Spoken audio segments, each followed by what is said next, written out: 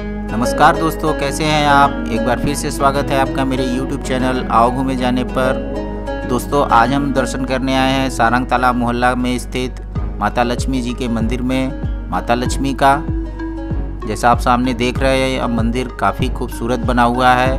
पूरे मंदिर में सफ़ेद मार्बल लगा हुआ है और यह मंदिर कमल के पुष्प के समान बना हुआ है, जैसा आप ऊपर छत पर देख रहे हैं। बाहर से यह मंदिर और खूबसूरत लगता है।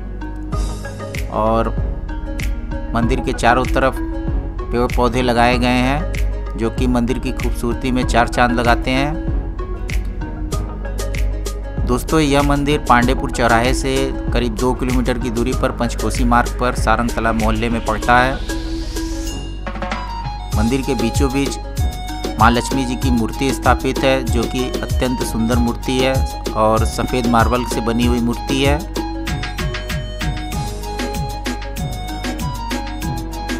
कोरोना की वजह से मंदिर में भीड़ अभी कम है। शुक्रवार के दिन यहाँ पर विशेष पूजा होती है और इस समय शुक्रवार के दिन यहाँ पर काफ़ी भीड़ होती है। जैसा आप देख रहे हैं, मंदिर के चारों तरफ़ काफ़ी हरियाली है और पेड़ पौधे लगाए गए हैं। इसकी वजह से मंदिर काफ़ी मनोरम लगता है।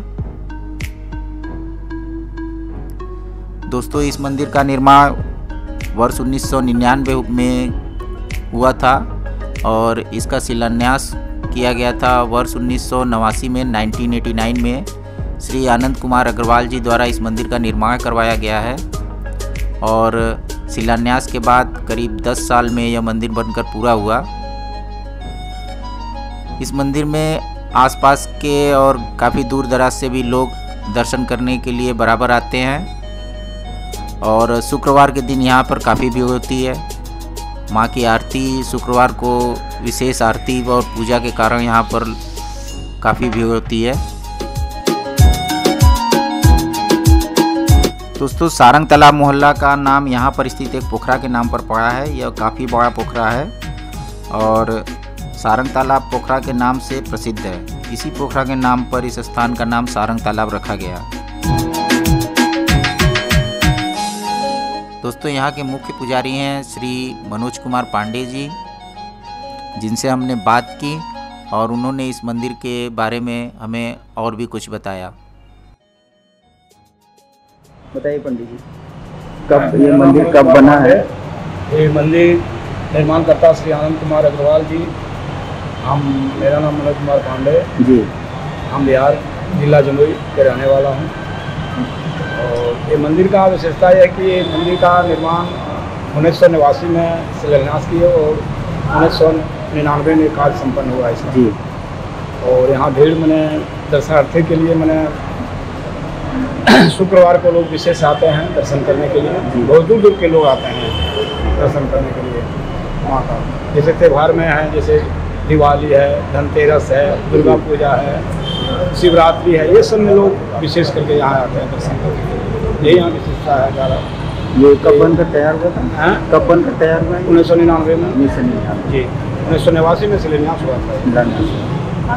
दोस्तों वीडियो में अंत तक ज़रूर बने रहिएगा। वीडियो अच्छी लगी हो तो लाइक और शेयर ज़रूर करें और चैनल को सब्सक्राइब भी ज़रूर कर लें क्योंकि इस तरह की वीडियो आपको चैनल पर ज़रूर मिलती है।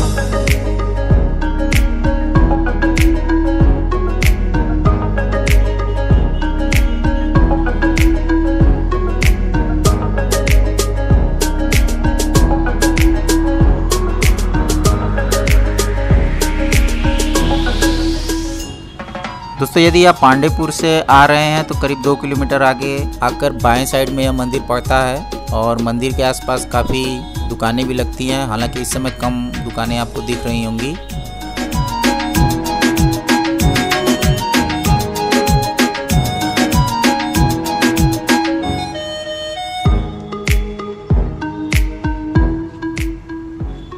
बाहर से मंदिर का गेट काफ़ी सुंदर दिखता है और जैसा कि मैंने बताया, मंदिर कमल के पुष्प के समान बना हुआ है। तो आप देख सकते हैं कितना सुंदर मंदिर लग रहा है ये। दोस्तों, यदि आप यहाँ अभी तक नहीं आए तो दर्शन करने यहाँ पर ज़रूर आए। आप इसकी सुंदरता पर ज़रूर मोहित होंगे।